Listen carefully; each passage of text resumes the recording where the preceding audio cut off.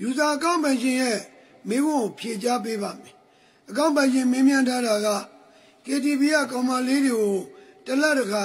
ကိုကသွားလူတယ်ကောင်မလေးတွေကလည်းကျေးဇူးတင်လို့ပြန်ဧခံတယ်အဲ့ဒါကိုအိမ်ကမိမကြီးသိသွားရင်အရေးယူလို့ရမလားလို့မင်းမြန်ထားပါတယ်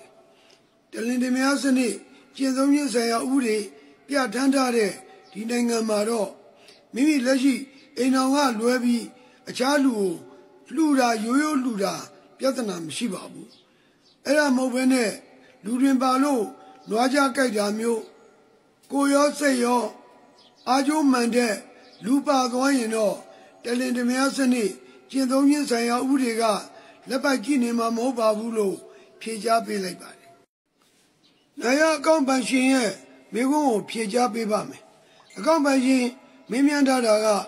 အိမ်အောင်ကွဲနေတဲ့လူနဲ့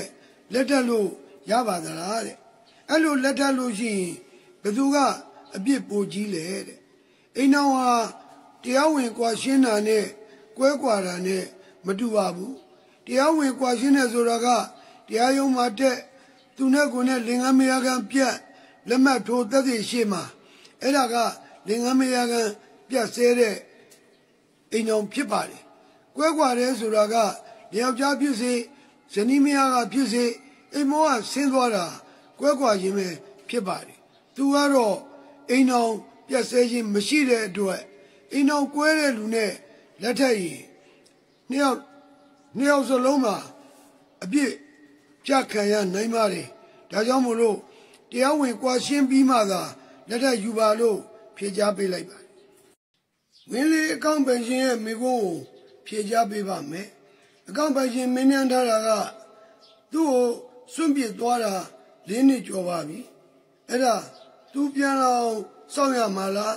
မစောင့်မဲနဲ့ကွာရှင်းလို့ရသလားထောက်ပံ့စီလည်းမပေးဘူးလို့မင်းမြန်ထားတာတွေ့ရပါတယ်အကောင်ပိုင်ရှင်ကိုဖြေချပေးလို့တာတော့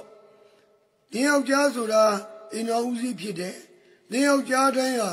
မိမိရဲ့ဇနီးသားသမီးကိုထောက်ပံ့ကျွေးမွေးဖို့တာဝန်ရှိတယ် ဒီတာဝန်ကိုရှောင်လွှဲလို့မရပါဘူးအခုလိုလေးနှစ်ကျော်ကြောင်းစွန့်ပစ်သွားတဲ့ဆိုရင်စွန့်ပစ်ခြင်းခံရတဲ့ဇနီးကကျမ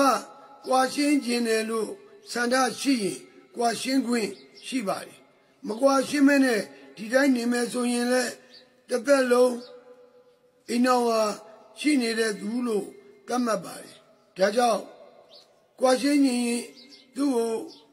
စွန့်ပစ်မှုနဲ့ ကွာရှင်းလို့ရပါတယ်အမျိုးသားတယောက်ကမျိုးသမီးတယောက်ကို၃နှစ်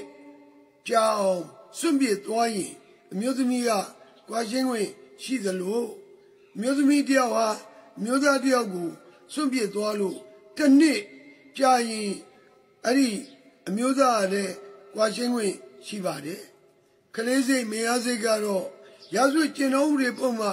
488တိအရ မယားစိတ်ကလေးစိတ်လျှောက်ထားလို့ရပါတယ်9000တဲ့မပိုတဲ့ထောက်ပံ့စိတ်ကိုလစဉ်ရမှာဖြစ်ပါတယ်ဒီတဲ့ပို့ပြီးတော့လူချင်းနေဆိုရင်တော့လင်းယောက်ျားရဲ့ဝင်ဝေသုံးမုံတပုံကိုတရားမเจ้าရတရားစွဲပြီးတော့တောင်းလို့ရပါကြောင်းဖြေကြားပေးလိုက်ပါတယ် ယ်